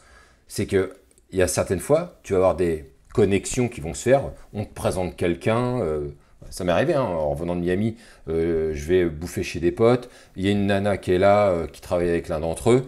Et en fait, on se revoit quelques semaines après, on couche. Ça s'est fait vraiment très simplement. Quelques années en arrière, avec moins de confiance en moi, moins de game, moins d'expérience, de, moins euh, je l'aurais pas attiré cette meuf. Là, je l'attire. Et à un moment donné, tu, sens quand tu deviens de plus en plus séduisant. Et tu deviens séduisant. C'est ça, en fait, à un moment donné, la clé. On n'est plus là pour aborder, pour rencontrer des femmes. C'est est-ce qu'on est quelqu'un de séduisant ou non? Tant que tu sens pas, tu vas le savoir de toute façon quand tu es séduisant. Tu vas le savoir parce que les nanas vont te regarder avec étonnement parfois quand tu vas leur parler. Ah ouais, ah, il est intéressant lui il est marrant, il a une personnalité étonnante, euh, un peu étrange, euh, il, interroge. Là, tu sais que tu deviens séduisant. Là, quand tu commences à avoir certaines fois des nanas, mais alors euh, ça te tombe comme ça, tu sais pas pourquoi. Là, tu sais que tu es devenu séduisant parce que tu as projeté un truc que tu maîtrises même plus en réalité. Tu maîtrises même plus l'image que tu renvoies. Lui, c'est ce qu'il dit en fait à demi-mot en fait, sans vraiment le dire. C'est que fort de ses expériences, bon, il a fait ses abordages, machin, il a développé ses business. Tout ça a construit une certaine confiance en lui qui fait que maintenant, il est clairement plus séduisant que la première fois quand il a été à Londres. Tu vois à la fin, quand tu deviens séduisant, tu deviens séduisant. On va pas le, on va pas le casser. Ça, c'est plus fort encore que le fait d'aborder, d'avoir des montées, des descentes. Une fois que tu deviens séduisant, tu deviens vraiment séduisant. Et après, on ne te le retirera pas.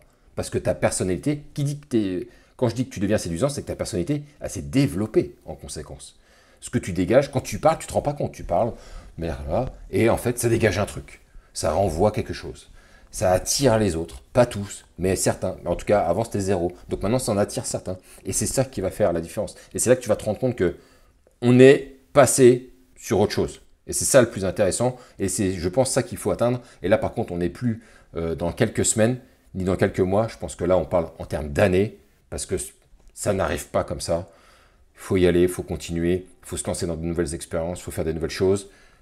Aborder, par exemple, assez régulièrement, très régulièrement. Il parle à un moment donné d'y aller tous les jours. Moi, c'est ce que je conseille dans le process. Je dis rien de plus. Euh, je dis à un moment donné, il faut aborder tous les jours. Je donne la, quantité même. J'explique tout, tout le plan. Et à un moment donné, si tu lâches pas, c'est évident, il va se passer un truc. Tu vas devenir quelqu'un d'autre. C'est évident, si tu lâches pas. Par contre, si tu fais comme certains, euh, j'ai abordé un petit peu, puis après j'ai arrêté, puis j'ai repris trois mois plus tard, ah putain, c'était dur, puis euh, euh, j'ai eu quelques petits succès quand même, puis j'ai encore arrêté, puis j'ai repris six mois plus tard. Non, t'as pas fini la formation. C'est comme le truc du Jedi là avec, avec Yoda dans l'Empire contre-attaque. Quand le mec il dit non mais moi je vais aller taper Vador, il fait mais ta formation n'est pas finie. Fait c'est pas grave, je m'en fous, j'y vais quand même. D'accord, mais ta formation n'est pas terminée. Et il y va quand même, il va se taper. Et qu'est-ce qu'il fait? Dans le retour du Jedi, il retourne voir Yoda pour finir la formation. Parce qu'il sait qu'il n'a pas terminé en fait. Tout n'est pas encore acquis. Eh bien c'est exactement la même chose. Tant que tu n'as pas terminé ta propre formation, tu n'es pas arrivé en fait. Donc même si tu auras des résultats, ça n'y sera pas. Tu seras pas. Il y aura encore du taf, il faudra encore pratiquer. Et le seul moyen de savoir si tu dois encore pratiquer ou pas, c'est est-ce que tu es encore en train d'avoir des points de friction quand tu discutes avec une inconnue. voire même avec des inconnus.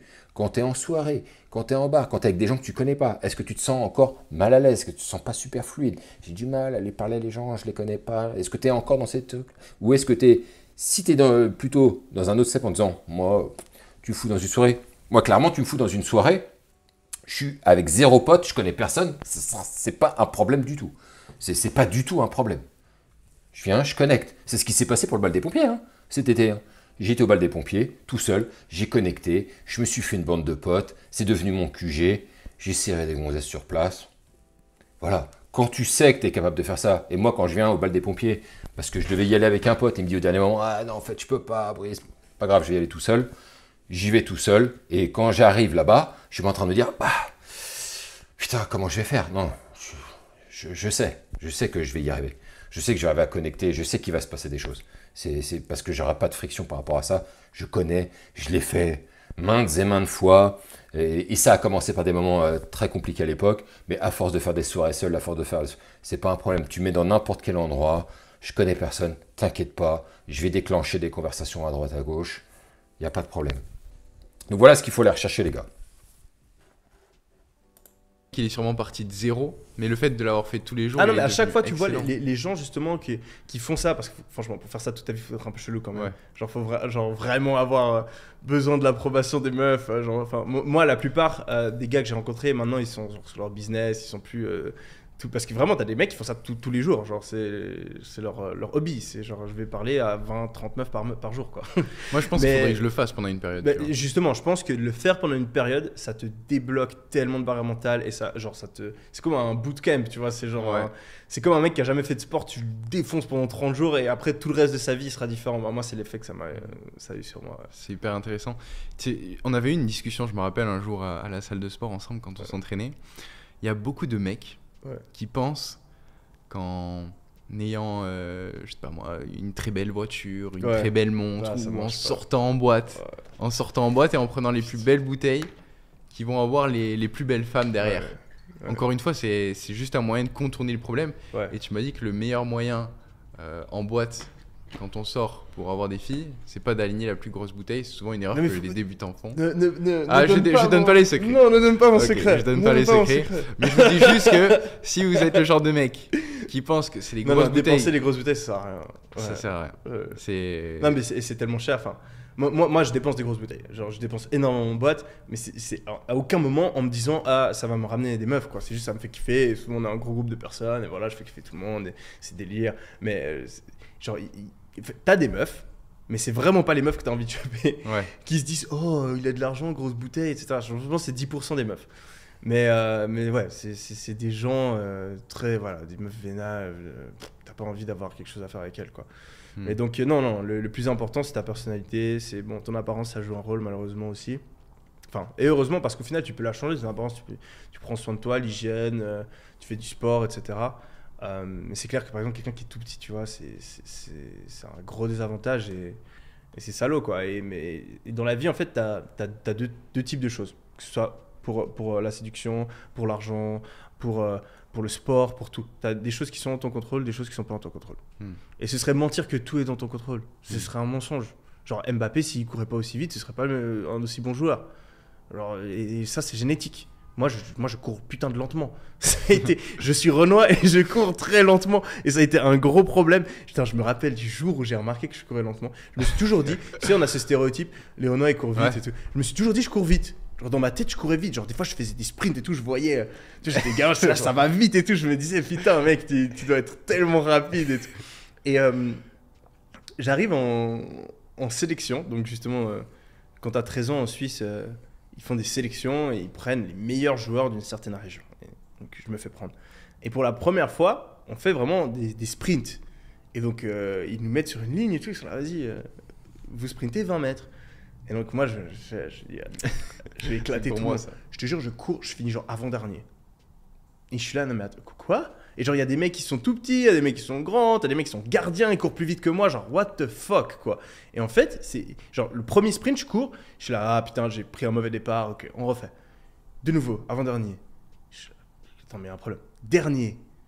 Et, je me fais laminer toute la séance. toujours dernier, avant-dernier, avant-avant-dernier. Et je rentre chez moi, je dis, ah, putain, qu'est-ce qui se passe? La semaine d'après, même chose. Et en fait, j'ai mis genre plusieurs semaines à en fait comprendre que, mec, je cours pas vite.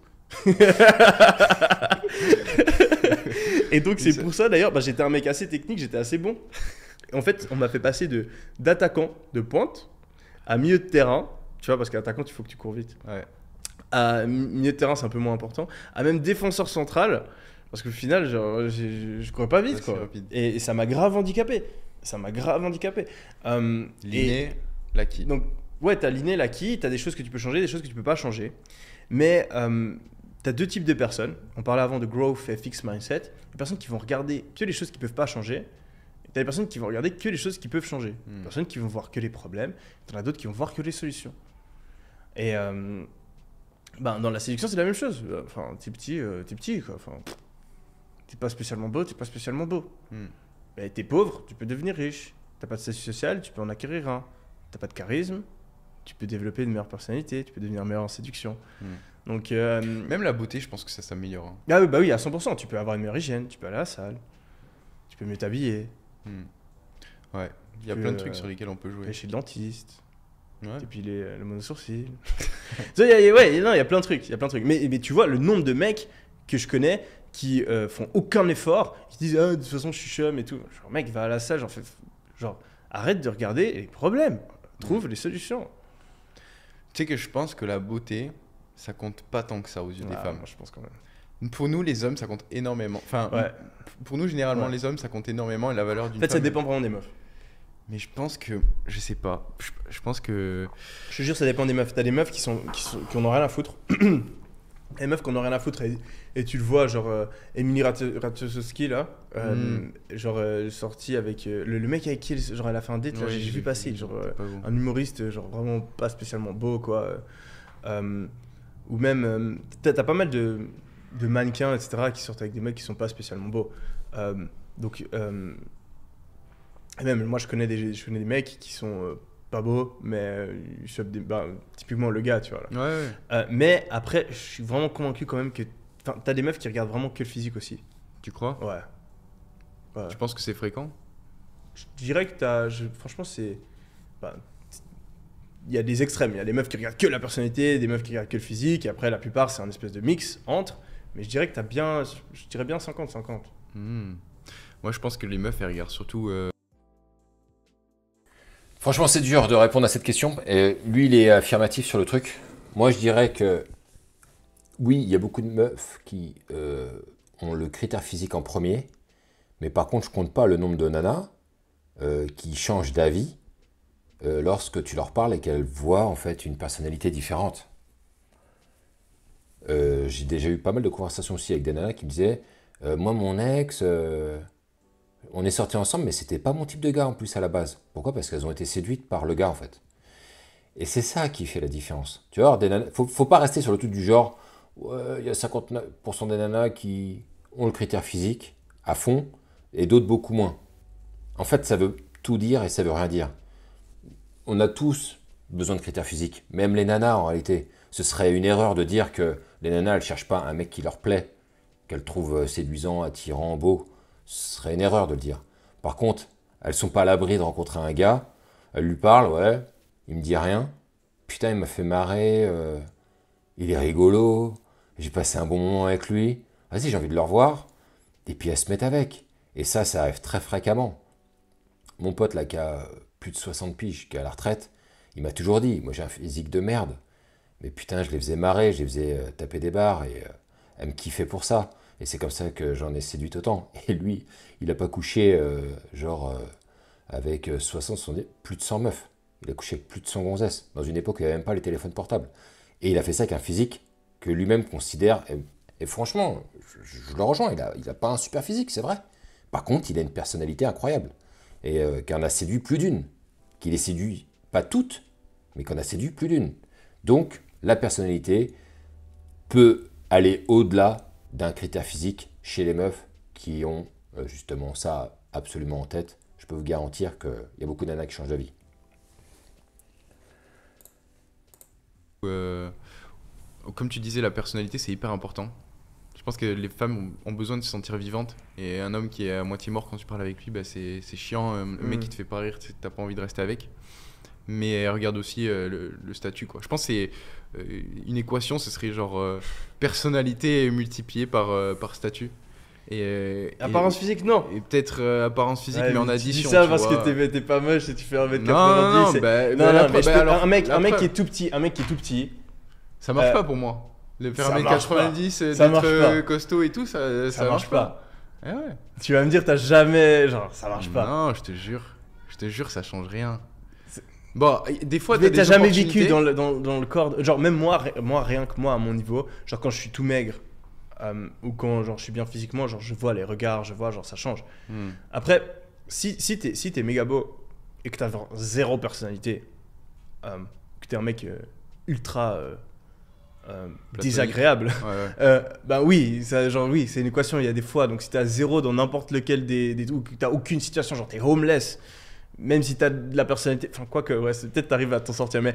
mais non, je pense qu'il te faut un minimum. Je pense qu'il faut un minimum dans chaque euh, dans chaque catégorie. Mais mais euh, non, moi je connais je connais je connais des genre mon frère par exemple, euh, qui est extrêmement beau gosse. Genre il y a des meufs genre elles, viennent vers lui en boîte genre genre il a rien dit, tu vois. Genre elles viennent vers lui ah ouais machin et tout. moi aussi ça m'est arrivé genre des meufs qui viennent vers moi genre j'en ai même pas parlé. Genre et, elles ont envie, tu vois. Hmm. donc il y a clairement. Il y a un truc. Et à l'inverse t'as des meufs euh, qui, qui, vont être avec des gars qui sont physiquement vraiment pas ouf, euh, juste parce qu'ils ont une personnalité très intéressante. Je, pense que ça dépend vraiment des meufs. Hmm. Ouais, c'est clair, c'est difficile de, de, tracer une. L'idée, c'est de maximiser un petit peu tout, quoi. Maximiser un petit peu son potentiel dans. Mais, mais là où tu peux avoir la plus grosse diff, c'est sur ta personnalité, c'est clairement. Enfin, développer le, le skill, la, compétence euh, d'être un meilleur séducteur. Hmm. je pense, je pense, parce que Ouais, moi c'est le seul truc là, à l'heure actuelle, j'ai essayé d'explorer toutes les options. Franchement, là, je. Mais arrête, si tu parles comme si t'arrivais pas, genre tu m'as montré. Euh, ça va, tu te démerdes. Non, il y en a quelques-unes, mais tu vois, c'est pas, c'est toujours pareil. C'est par, par Instagram, par les réseaux sociaux, t'as moins peur du rejet, comme on disait tout à l'heure. Ah, tu dis en vrai. Après, c'est. en vrai, ouais. Moi. Ah, de parler à une inconnue, tu dis? Parler à une bah, inconnue. c'est la situation la plus difficile. Ah, c'est difficile. Et puis derrière aussi sexualiser, genre euh, avoir, euh, tu vois, euh, en date, être passé de conversation comme si tu étais avec quelqu'un avec qui tu faisais connaissance à être plus proche, J'avais grave, des, grave des blocages avec ça aussi. C'est difficile d'être tactile comme ça. Bon, c'est comme ça. C'est comme ça. parlons de notre truc. Voilà. Voilà les gars. Oh, c'était sympa, je pense, cette petite vidéo. Je pense que vous avez appris des trucs. Enfin, appris. Peut-être pas, mais euh, ça gonfle un petit peu, quoi. Je sais pas ce que vous en pensez. Oh Un peu plus du casque.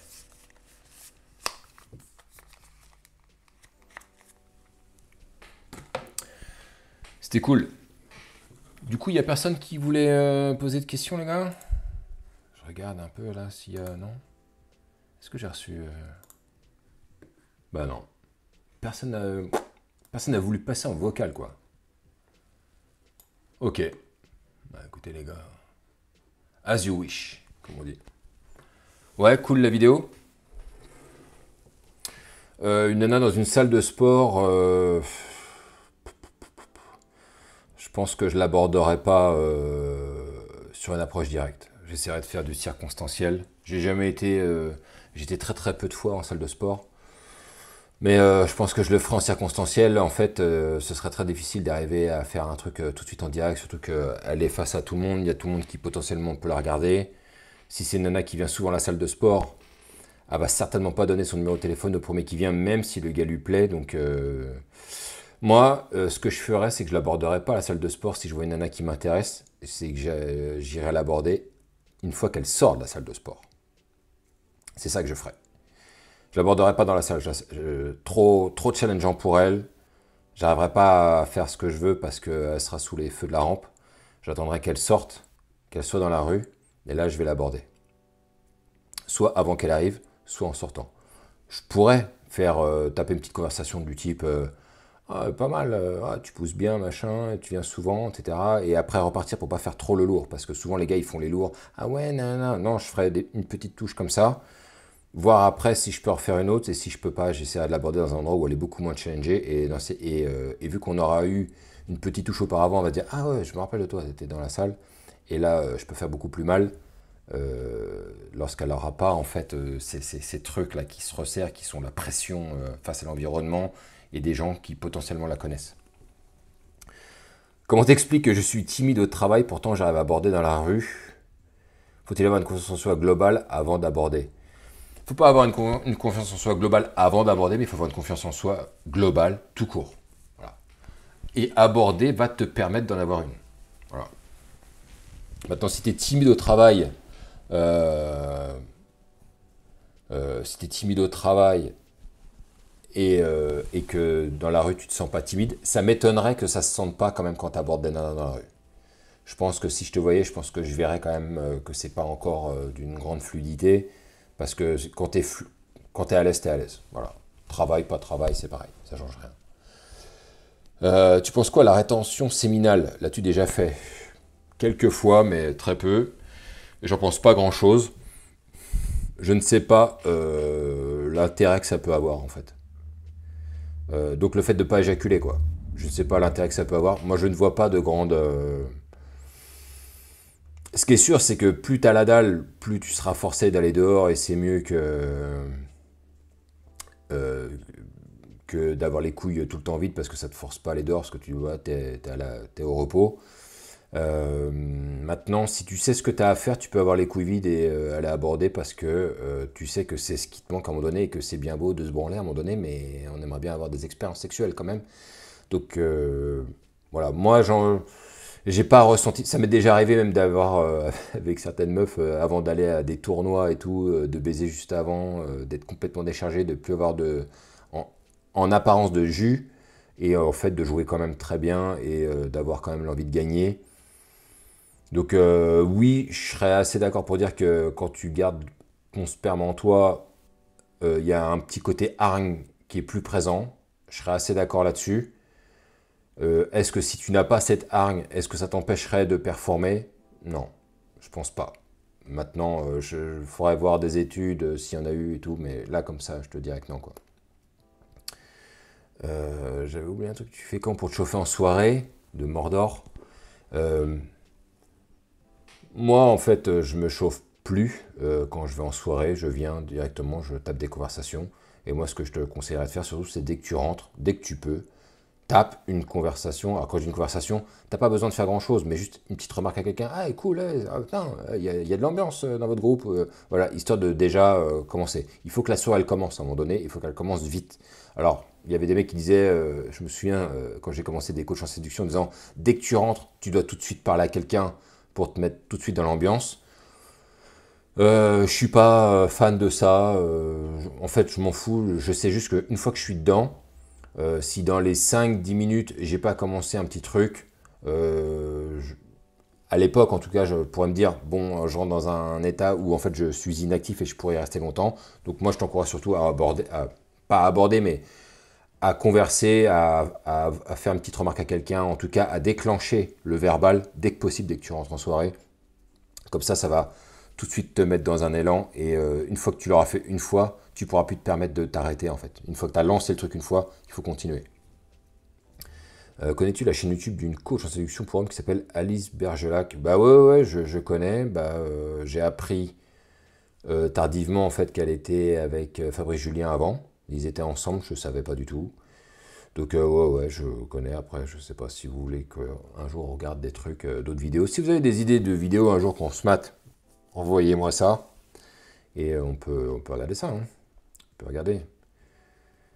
Euh, A-t-on un âge de préemption 45 ans et puis, euh, et puis le game c'est, et c'est fini Non, moi je crois pas du tout.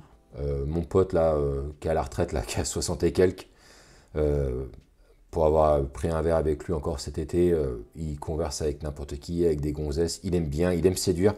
Je pense que c'est ça, là, à un moment donné, la différence. Hein, c'est qu'il y a celui, à un moment donné, qui va, se, qui va devenir vraiment séduisant, mais qui est aussi qui aime séduire. Et puis celui qui sera toujours dans la besogne et qui n'aura jamais vraiment réussi à trouver le goût à ça. Et qui, lui, euh, trouvera tous les moments du monde pour dire j'ai pas envie de parler.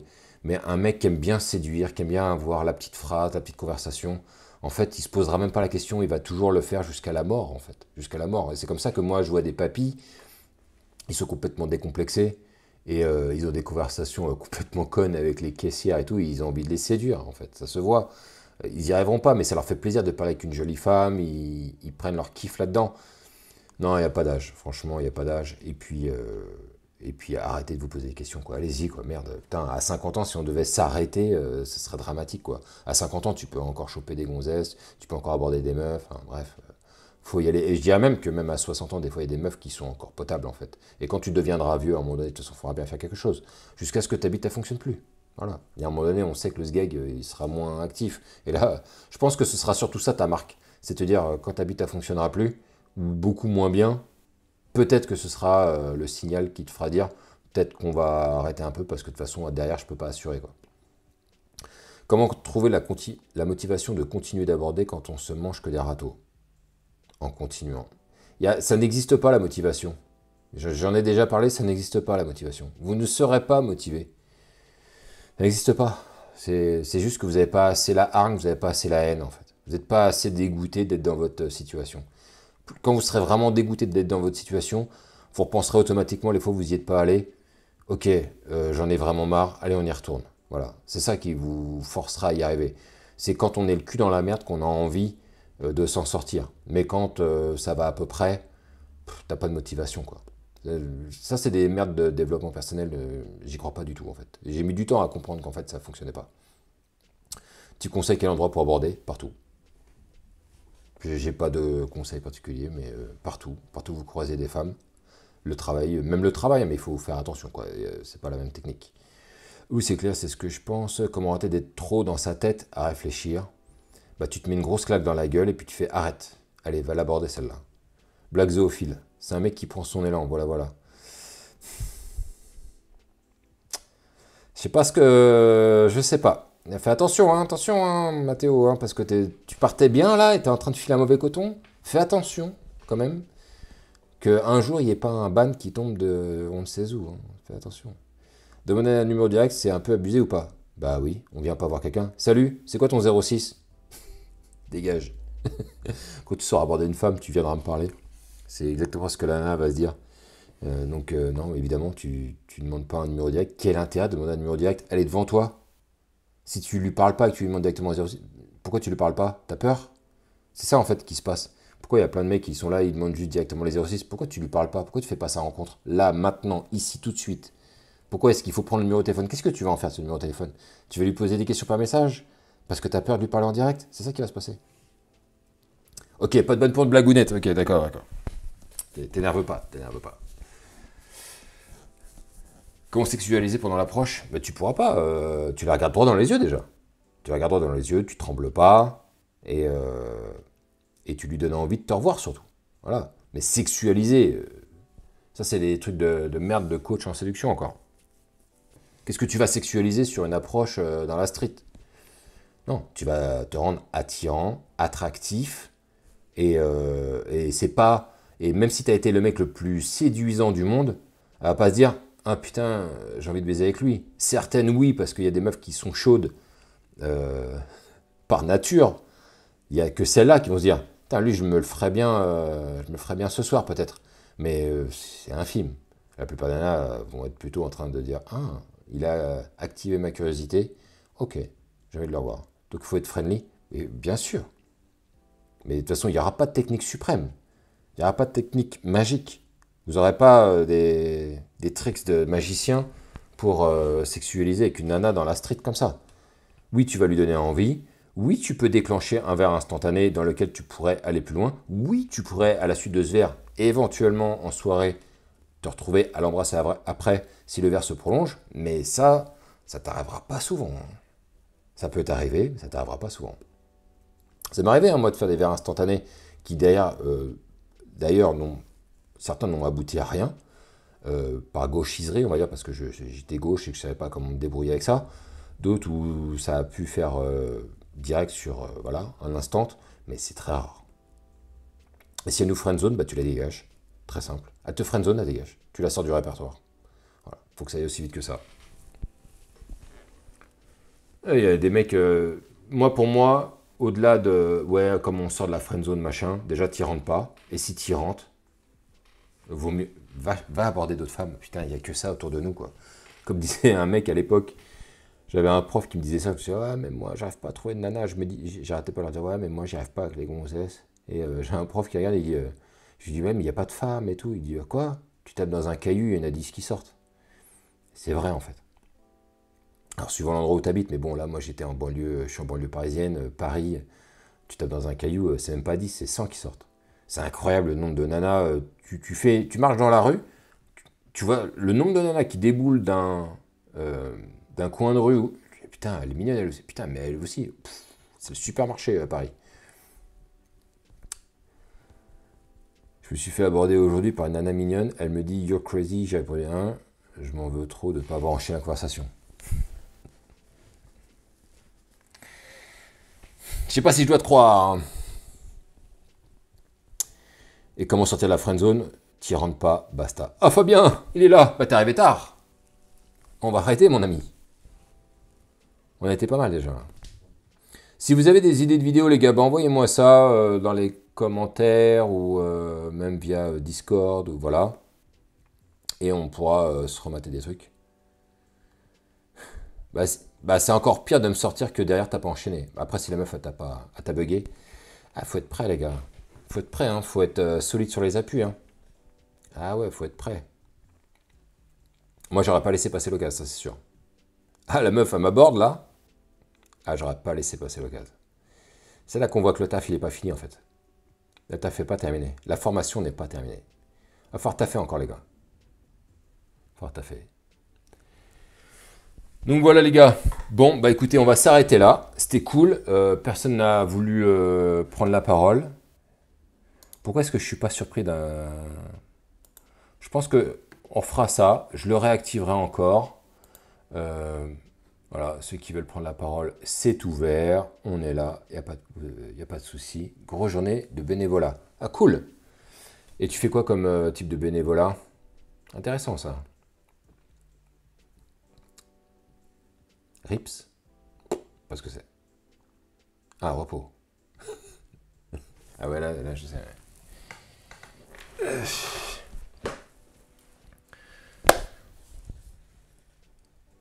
Avec le téléphone, on peut.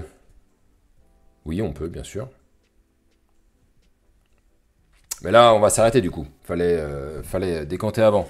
Là, on va s'arrêter. Mais bon, on se garde ça pour la prochaine fois, Mathéo. Tu reviendras, y a pas de souci. Euh, et puis, euh, et puis voilà quoi. Bon, messieurs, écoutez, je vous souhaite une excellente soirée. On se retrouve probablement dimanche prochain pour une nouvelle aventure.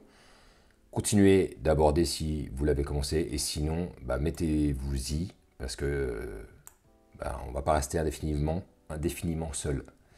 Sur ce, les gars, bonne soirée, bonne semaine à vous et vive ce putain de game. Vous connaissez la chanson.